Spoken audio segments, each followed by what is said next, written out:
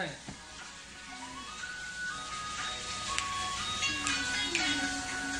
Jesus loves me, this I know, for the Bible tells me so. Little ones to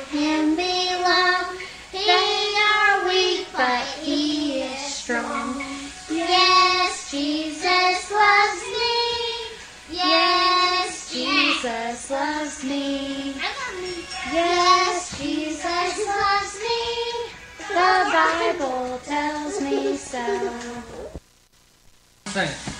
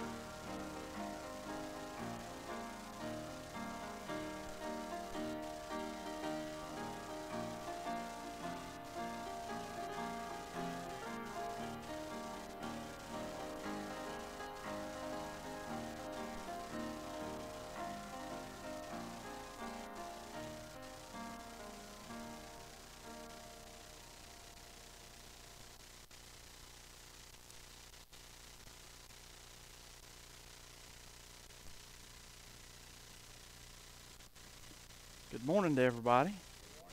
It's good to see you all uh, here this morning. You know, I was, this is just some food for thought. I found a good use for this mask. If you cut yourself shaving, you can hide it as long as you leave your mask on. So, so there is a little bit of goodness out of that. No, I try to, I did trim it though. So. Anyway, it's good to, good to be here. Uh, good to be back in God's house. Uh, happy Father's Day to everybody.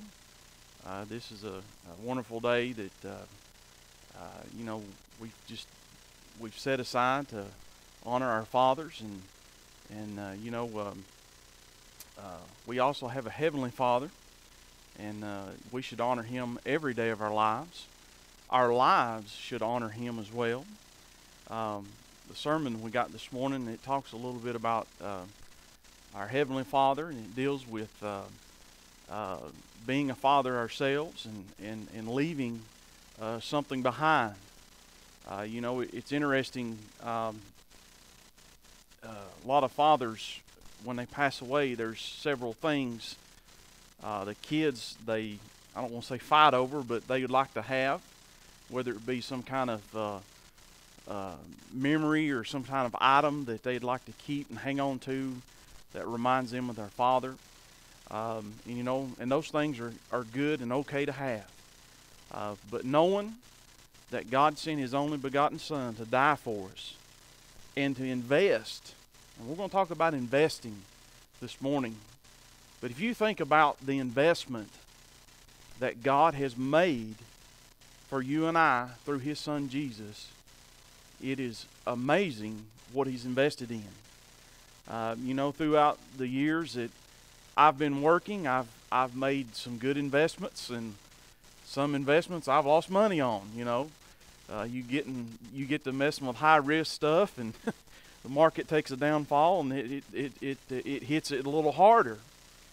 But you know, when you think about the investment that God has made in you and I, um, he is uh, a friend of mine. He said for many years, he said, God bankrupted heaven when he sent his son down to earth to die on a cross for us. But you know, if you think about the investment that God has made in you and I, it is the greatest thing that's ever happened to us. A lot of great things has happened in my life. But when Jesus Christ saved my soul, you know what? That has an internal impact forever. Um, in a way of announcements this morning, uh, about forgot Bobby. uh, the nominating committee, we need to meet uh, shortly after church. We'll just kind of congregate up here just briefly. Uh, so um, those of you that's on the nominating committee, please just we'll gather up here just shortly after we leave church. Don't forget, um, we won't be having services tonight because it's Father's Day. Uh, if you have if you have time, you spend time with your family, spend time with your father if he's still living, and uh, you know, and just uh, enjoy your time with your family. Uh, don't forget the offering today. The ushers will have uh, our offering plates at the back of the church. Uh, the offering today goes to the Tennessee Baptist Adult Homes. I got that right, didn't I?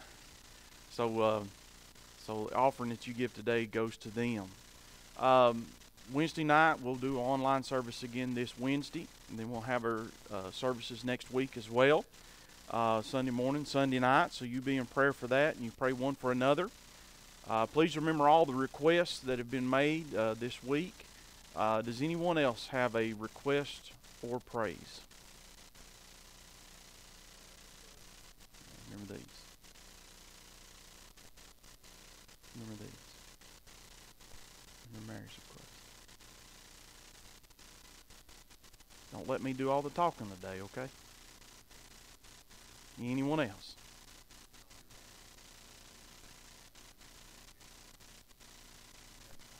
Yeah. Amen. Amen. Anyone else?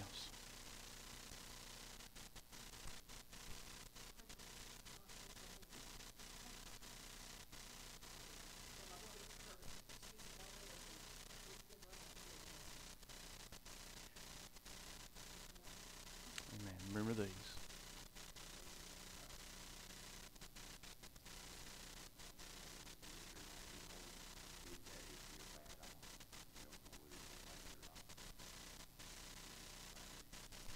And remember this. Anyone else? Yes. Yes. Yes. Yes, he has.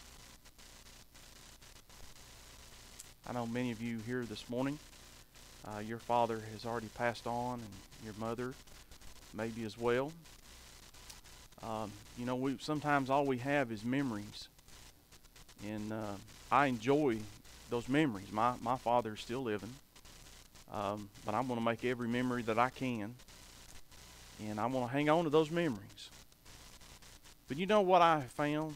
The greatest thing of all, I know he's saved. I know my mother's saved. Someday this is all going to come to pass. And we're going to gather in heaven. There's going to be a great big reunion. A big old homecoming like we've never seen before. We won't have to worry. We won't have to wear masks. We ain't got to worry about riots. We ain't got to worry about cancer and sickness and uh, diabetes and heart conditions, kidney stones. Brother Mark, you need to remember him in your prayer. He's got he's battling kidney stones. Um, all this trouble that we have, all the sickness and all the aching we get, uh, it's going to come to pass. The devil and all his work and all the stuff he does to annoy, annoy us and to pester us, it's going to be gone. Don't have, you know, amen to that. We get to heaven, you know, it'll there'll never be any darkness. I don't. These times in my life, I don't like darkness. I don't like being at, at, at home. They has to be, uh, they has to be some type of light on, whether it's the TV or a hall light down the down the hall. Um, I even like having a little bit of noise if a fan's blowing or something, but I don't like darkness. You know what? There'll never be no darkness when we get to heaven. And I thank God for that. Um, and you know, it's all because of what our Heavenly Father's done for you and I. Anyone else before we get.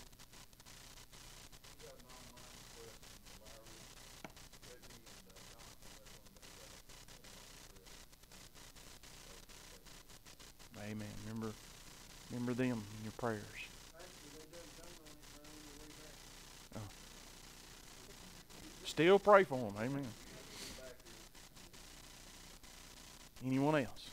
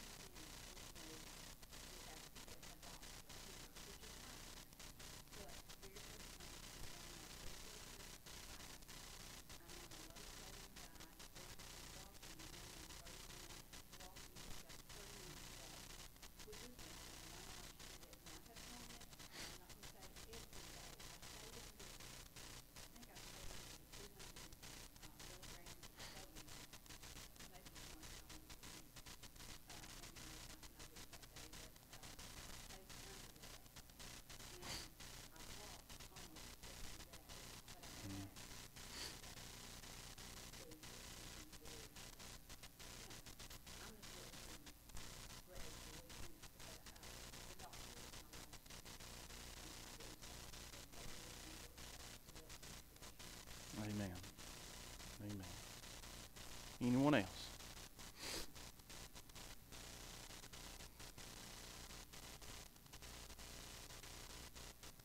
If not, Larry, would you lead us in prayer, please?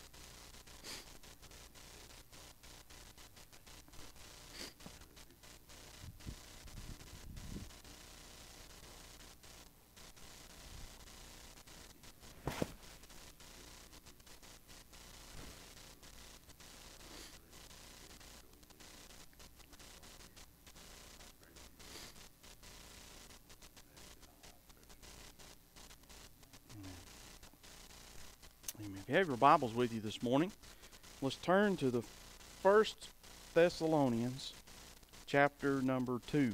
First Thessalonians, chapter number two. Don't ask me to spell that. I spell it th with a period. Uh, anything past that, it gets it gets a it, uh, complicates my mind sometimes. I was aggravating uh, Mike Ogle and Chris this morning. I said I had to. I was trying to find Mephibosheth in the Bible, and I spelt that thing every way but right. And um, but I finally found it. First Thessalonians chapter number two. If you'll stand, we'll read just a few verses uh, this morning in your hearing, and we'll give you the thought that God has laid on our heart uh, for today. And um, as we read, after that, we'll pray. And I want you to uh, uh, pray um, for the lost. Most importantly, when we pray, uh, let's pray that as a church, you know, we'll get back to being a church and being together. Um, it's good to see every. I mean, I'm telling you, it's good to see you all here this morning. And I know we have several others that are watching uh, from their homes, and you are deeply missed. Um, but you know, we're still we're still connected. We've all got a blood relationship through Jesus Christ, and you know, there's a Spirit of God that connects us as well. So uh, you you continue to pray for our church, pray for the lost. Uh, we've got a lot of important things coming up really fast on us as a church. Um, pray for our nominating committee. Uh, we got to put that together really quick, so you you pray for that. Uh, Bible school and the upcoming things as well, so you continue to remember that in your prayers. First Thessalonians chapter two, and I want to read to you. Um, uh, just we're going to read a few verses, uh, but we'll back up and catch some at the beginning of this chapter. I want to start reading here in verse number 8. And notice what Paul has written unto them. He says, So being affectionately desirous of you, we were willing to have imparted unto you not the gospel of God only, but also our own souls, because ye were dear unto us. For, for ye remember, brethren, our labor and travail, for laboring night and day, because we would not be chargeable unto any of you, we preached unto you the gospel of God. Ye are witnesses, and God also, how holy and justly and unblameably we behaved ourselves among you that believe. And as you know, how we exhorted and comforted and charged every one of you as a father doth his children, that you would walk uh, worthy of God who hath called you unto the, his kingdom and glory.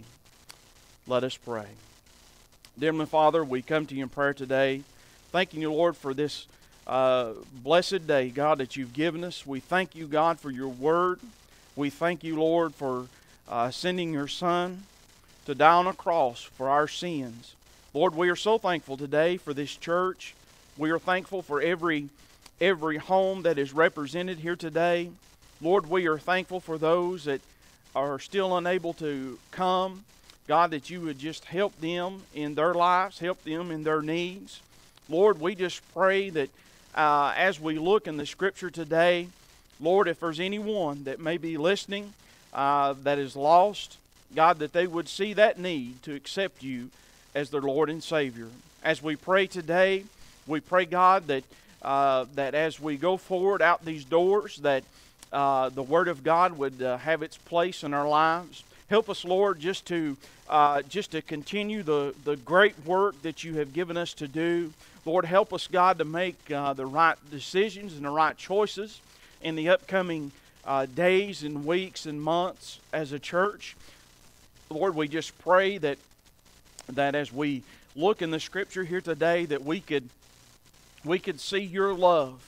And God, we could see your caring and your, your giving that you've given us uh, uh, throughout our entire lives. Lord, as we pray, we want to thank you for all the answered prayers and all of the many blessings that you've given us. And Lord, we're so thankful, God, uh, the, for your precious Son, Jesus, that you sent unto us. In Jesus' name we pray. Amen. You may be seated as we look in the scripture here this morning, uh, you know, I, I opened uh, just a few moments ago and we talked a little bit about uh, things that a father may leave behind. You know, it, it, it, it, you know, those things could come in, in many uh, different things. They could come in the form of, of, of, of a gift or, or some kind of, uh, a, maybe a picture or maybe uh, memories or maybe uh, you know, like a pocket knife or, or anything uh, that would have uh, maybe not it may not be worth much to someone else, uh, but to you it is it is worth a lot. It means a lot to you. Um, when I was thinking along the scriptures this week and praying and and searching out the scriptures, I, I found this scripture here that Paul uh, had written uh, under the Thessalonians and it was interesting that in verse number 11, what he said unto them, he said, As you know how we exhorted and comforted and charged every one of you as a father doth his children. You know, um, if we think about that for just a moment, if you notice the three parts of what Paul has written unto them, he said, We exhorted, comforted, and charged every one of you. Now, uh, if you think about that for just a moment, uh, you know, Paul, uh, Paul, we know the life of Paul and how that he, under his conversion, uh, how that he had changed and uh, how that God used him in the ministry. Uh, and when you look at the life of Paul, Paul, uh, you know, we don't know much about his life outside of the church and preaching. And but you know, Paul also left us behind some things that we can we can look at and that we can, I guess, glean from uh, that we can gather from, and it's, it's God's precious word. Uh, and you know, when Paul was treating them, he was treating them like uh, uh, uh um, a father doth his children. Now, and when I say that, he wasn't trying to belittle them in any way, but he was trying to care for them. He was trying to uh, share with them, and he was trying to guide them in the right ways that they should go. Now, it's interesting when you back up just a few verses. We didn't read these, uh, but I want to share them with you this morning. In verse 3, he says, For our exhortation was not, uh, was not of deceit. Uh, nor uncleanness, nor in guile. Now, uh, what Paul's telling him, he said, you know, we didn't try to uh, we didn't try to lure you. We didn't try to tempt you. We didn't try to offer gifts unto you, but we just we just we come to you uh, with the truth, and we come to you with the gospel. And and, uh, and and when he goes on to say, but as we were allowed of God to be put in trust with the gospel. Even so we speak, not as pleasing men, but God which trieth our hearts. Uh, and Paul's enforcing to them, you know, what we've given to you and what we have shared with you would come from God Himself uh, directly. And you know, ain't that amazing that when we read God's Word uh, and we start studying in it, and, and you know, hopefully for long we'll get back in Sunday school and our Sunday school teachers begin to, uh, to teach God's Word again. Ain't it amazing that when you find yourself in God's Word, how that it moves and speaks to your heart, uh, how that it guides and gives you instruction, how that it, how that it gives you comfort in the times that you need comfort, how that it gives you instruction in the times that we need instruction, and how uh, you say, Preacher, what is instruction? Well, uh, sometimes it's how to do things, uh, and sometimes it's how to uh, not do things. Amen. I, you know what? I learned a lot uh, in my life of, of, how, of doing things wrong and learning from those things and finding the right way to do those. And you know, it all came from instruction. but when you think about what Paul is giving to them, uh, notice this that in verse 7 he says, But we were gentle among you. You know, I'm thankful for the Spirit of God. You know, that sweet Spirit of God is gentle and caring and loving uh, when it guides you and I. And, and you know, and he goes on to say this. Notice in verse 8, uh, he said, So being affectionately uh, desirous of you, we were willing to have imparted unto you not the gospel of God only, but also our, own souls. Uh, and when I read that verse, immediately inside of me, uh, uh, my soul began to stir. Uh, and you know what? I began to get those gospel goose, uh, goose uh, pimples and bumps up and down my back. and a cool chill just entered all around me. and you know what? And I read that verse and I began to think about how much that God has invested in me.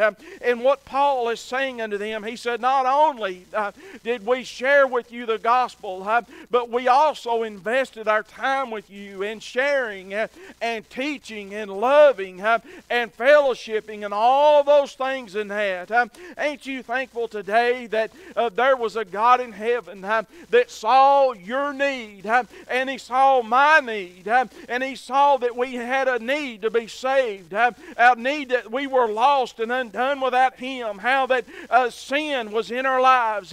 and through that investment of sending His Son in that, He's invested so much in us so that we could have the ability to have forgiveness of sins, uh, so that we could have the ability uh, to have our name written in that Lamb's Book of Life, uh, so that we, when we lay our heads down at night, we don't have to worry.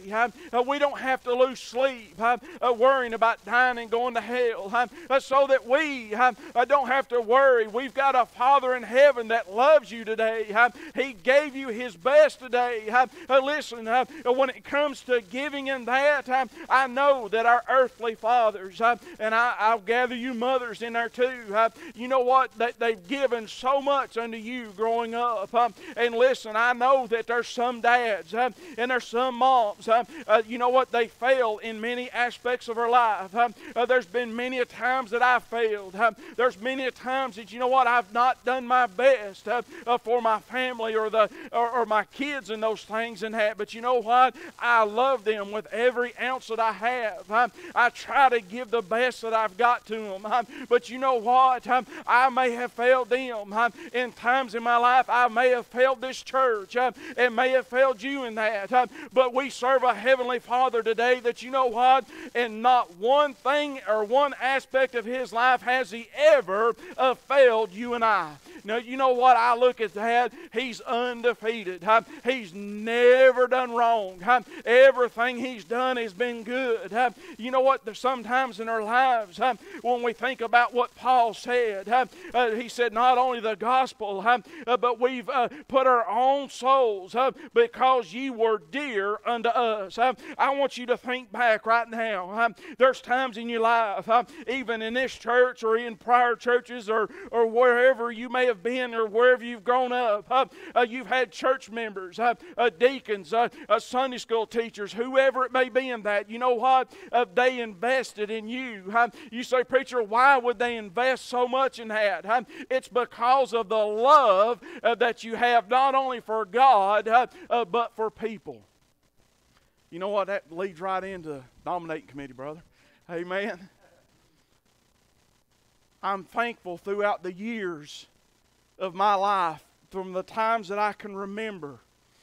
Not only did I have parents that invested in me, not only did I have family that invested in me, but I had churches around me wherever I went, took time and invested in me. You know what? If you want to win somebody to the Lord in that, you invest a little in them, and you know what? And you'll get a return. I thought about, uh, I said Mephibosheth. I thought about uh, Mephibosheth and his life. When you go back and if you want to read, if you want to turn there real quick, we'll, we'll share with you just a, a few minutes. Uh, but Mephibosheth in, in 2 Samuel chapter 4 and verse number 4, it says, And Jonathan, Saul's son, had a son that was lame of his feet. He was five years old when the tidings came of Saul and Jonathan out of Jezreel. And his nurse took him up and fled, and it came to pass as she made haste to flee that he fell and, and became lame, and his name was Mephibosheth. Now, if you think about that, that is a tragic scene. An innocent young boy injured and harmed because of, I guess, what you look at as traditions. And this young boy, even at that young age, the Bible says he was lame at his feet. But yet, you know, thanks being unto God, we look at we look at we've got another example we're going to use uh, this morning uh, in our hearing. But you know what? I, know David failed in several aspects of his life. I know that there was aspects of David's life he failed with his children, and I know that he that he done all the, some things wrong in that. But you know what? He did have a love for God, and he did have a heart after God. And when I thought about what he done for Mephibosheth I'm about to get that and all mixed up this morning, okay? I told I told Mike this morning. I said, now I was trying to. Uh, uh, I couldn't spell Mephibosheth, and now my phone has its own. Uh, uh, uh, you know how it automatically stores things in your phone, your words and stuff. I've got a new new name for Mephibosheth. Okay, it don't sound too pretty, but it's in there. Okay, but Mephibosheth, David didn't owe him anything. David didn't have to give him what David got him. David didn't have to restore in him all that he restored unto him, but thanks being unto God, David had a love uh, that God has for you and I. You know what? There's times in our lives God has restored us, uh, God things that God has given us that we've not deserved in that, but God loves you and I here this morning. Uh, think, think about this. Turn with me to 2 Samuel if you want to. And I want to read in verse number 9. And David said, and, da- and, and David said, Is there yet any that is left of the house of Saul that I may show him kindness for Jonathan's sake? And there was of the house of Saul a servant whose name was Ziba. And when they had called unto him David, the king said unto him, Art thou Ziba? And he said, Thy servant is he. And the king said, Is there not yet any of the house of Saul that I may show the kindness? Now, notice this the kindness of God unto him. This is not David's kindness, this is God's kindness. You know, sometimes man's kindness can be mean, amen? You just cut somebody off in the middle of the road up here, you run a red light or something, and you'll find out how somebody's kindness really is anymore. You, you know what? Even going through Walmart, sometimes you can find out who, who's kind and who's not. But David said, I want him to experience the kindness of God. I want him and his family to know that God is a God of love, that God is a God of caring, God is a God of watching out for us. And notice this and the Bible says, And the king said unto, Where is he? And Ziba said unto the king, Behold, he is in the house of Machir, the son of Ammiel, in Lodebar. if this ain't a father figure, I don't know what is. You know, sometimes we find ourselves in Lodebar. Sometimes you've got family members that's in Lodebar. Sometimes you may know somebody uh, that's in Lodebar. Sometimes you may find yourself there. I'm glad God knows where we're at 24 7. He don't need GPS. He don't need Google. Laurie had to get some directions yesterday, and I, you know, I tried to help her the best I can. And I think at one point in time the phone died. I'm glad God's signal never goes off. I like this. Then King David sent and fetched him. Boy, ain't you glad we've got a Heavenly Father that sometimes in our lives He'll go fetch us.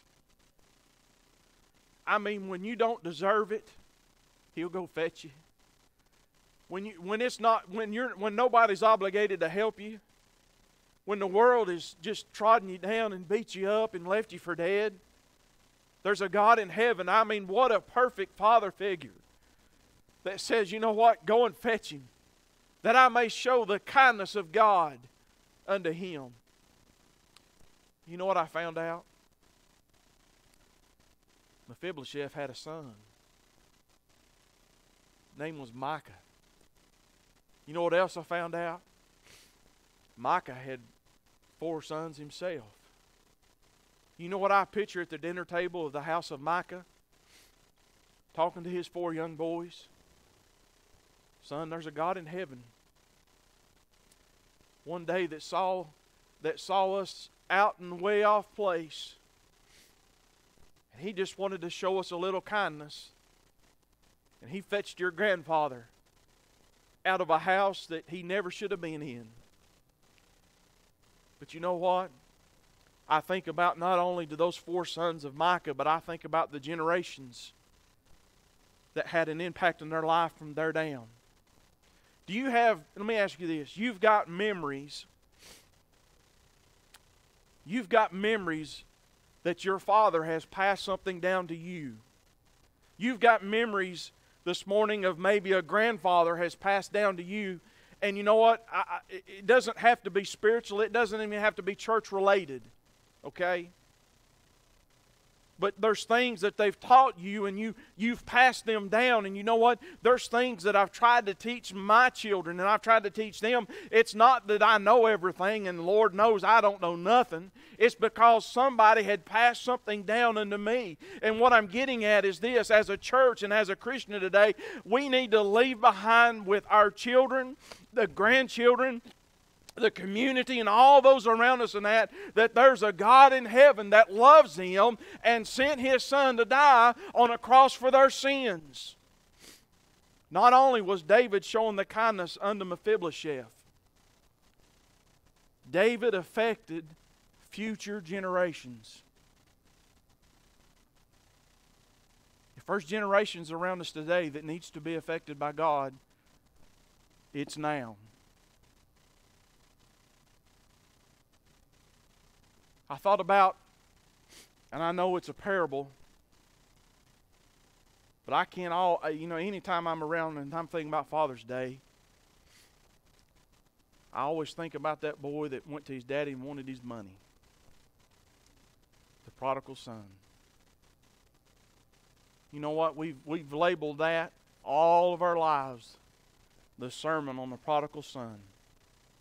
I think the sermon was more about the father. I know that was a parable that Jesus gave. But think about the generations that that would affected. Son, there was one day in my life I walked away from my father. Took all that was due to me, and it didn't take very it didn't take long at all, and I spent all I had, and I was down to nothing. And I was eating basically garbage. He said, Then I remembered my father's house has food enough. I could just go live as a servant, and I'm paraphrasing. And you know, when that son came back, he didn't go out like he uh, he didn't go out like he left. He came back with the world all over him. But you know that father loved him just the same as he left as when he got back. You know, if when you look at these examples that I've given you this morning,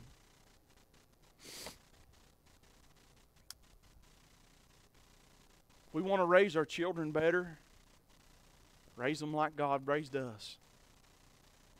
We want to help our future generations. We want to help our children and our church and all of those around us. Show them the kindness that only God can give. You know what? Maybe during the sermon this morning, God brought somebody to your heart. Say, preacher, they need to be fetched. They need to be fetched. God knows where they're at. You know, Ziba, Ziba got blessed as well. He had to work for Mephibosheth, but you know what? Ziba and his, his sons and his servants, they got to eat off the land that they, that they, that they worked for, for, uh, uh, for Mephibosheth. You know what? God provided for them and they didn't deserve it. You know, maybe there's somebody here this morning, God's trying to fetch you. You know what? He's fetching you because He loves you. Let's stand for a moment.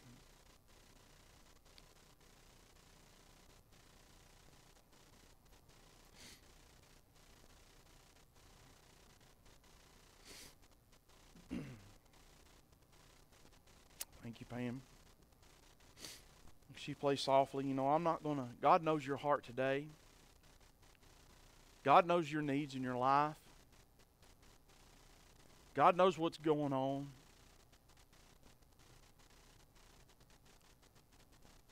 I'm glad that He fetched me.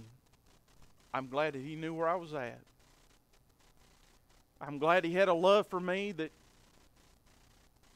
passes all understanding. If you're here today and you need to pray, you come and pray. Ain't nobody going to bother you.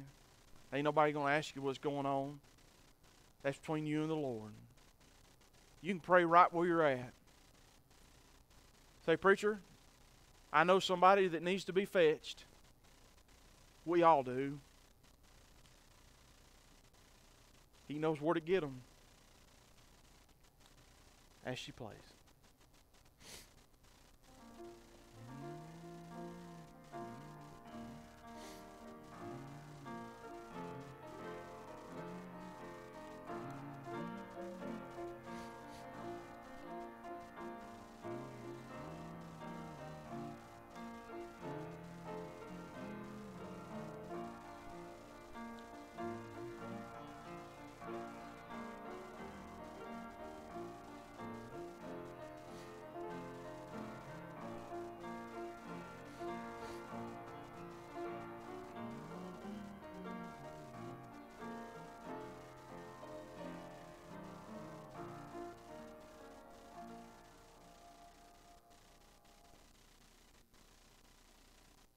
Good to be. Uh, it's good to feel God's presence this morning. You know, I, it makes me feel like I've been at church. Okay, and um, you know, God, God knows your your prayer requests. He knows the needs in your life. Uh, you know, thing about God I love, He's always on job, always on the job. Okay, He never He's never sick. He's never felt bad. He never has to take a vacation. He never has to he never has to go to the break room or anything else. He's always on the job. And you know, if you think about that, how much good that He's given us in this life. I know we have our heartaches. I know we have our troubles. I know we have different things that affects us a lot. But when you add it all up, it's good. It's just good. That's all I can say. Don't forget our services. We won't be having services tonight. Uh, so you spend time with your family and, and enjoy them. Spend time with your fathers if he's still living. Uh, spend time with your mothers. Don't ever leave a mother out, okay? Because uh, you know that's the way God intended a father and a mother. He's given them to you. They're gifts. Uh, just as as parents, you know those children you have, they're gifts. God gave them to you. They're on loan. Okay, they're not yours forever. They're on loan. So you remember that. Don't forget uh, our offering today. If you want to leave something in the plate back there, goes to the uh, Tennessee Baptist Adults Home. So you remember that. Uh, don't forget, uh, nominate, nominating committee. We'll meet up here r- briefly right after church, so those of you on the nominating committee, you come up and um, we'll meet here briefly at that. Uh, don't forget, uh, Wednesday night service we'll do online. Then we'll, Sunday morning, Sunday night services next week. You'd be praying for that and uh, pray one for another. Gerald, would you dismiss us in prayer, please?